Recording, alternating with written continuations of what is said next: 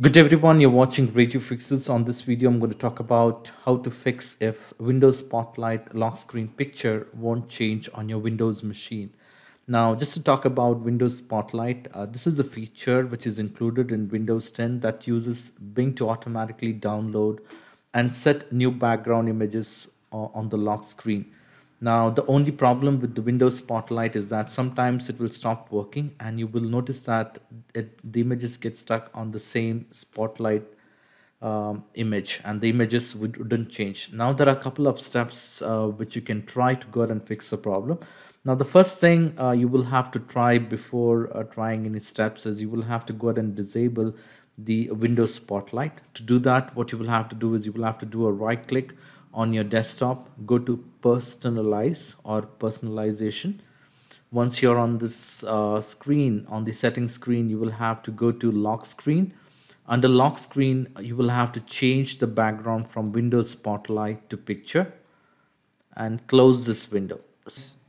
What you will have to do is you will have to open run command and in the run command you will have to go and type um, the following path. I will mention this path in the video description and click on OK.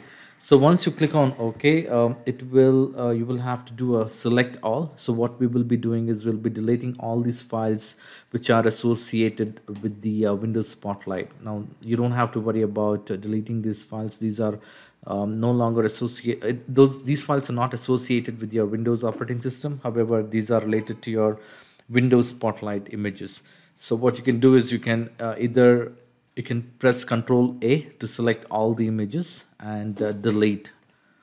And once these files are deleted, so once you clear all these uh, files, uh, what you will have to do is you will, you will have to open the run command again and in the by pressing Windows and R key and type this command, um, the following command. I will mention this command in the video description and click on OK.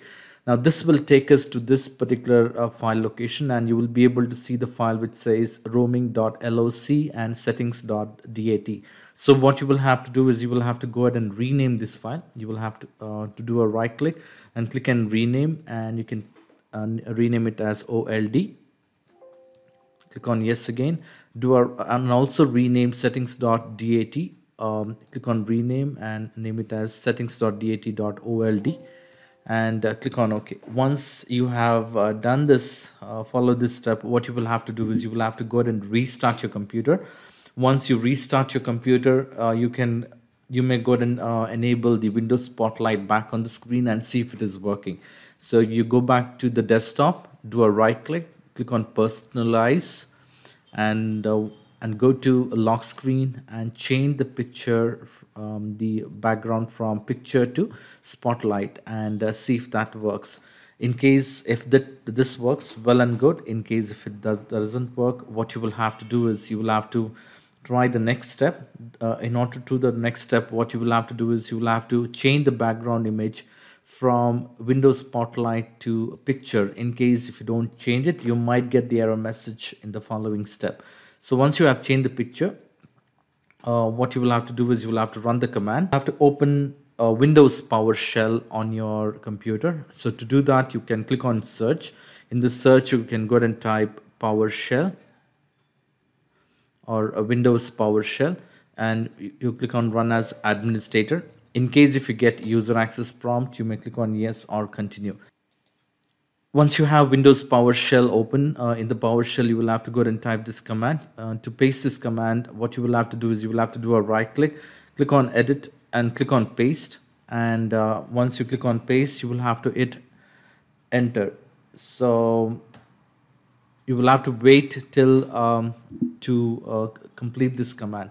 Now you might see this message saying that access is denied. That's because you may not have uh, restarted the computer. So it is very much um, important to go ahead and restart the computer before you try the first step. In case if you have not restarted the computer, there is a very much a possible reason that you, you will get this error message. So make sure you go ahead and restart the computer after completing all this step uh, once you have run the um, PowerShell command and uh, the command is successful. Once it is executed successfully you will have to go ahead and restart the computer again. And once you restart the computer again go ahead and re-enable the Windows Spotlight feature by go, by going to desktop do a right click go to personalize and under lock screen switch back from picture to windows spotlight and um, that should fix the problem.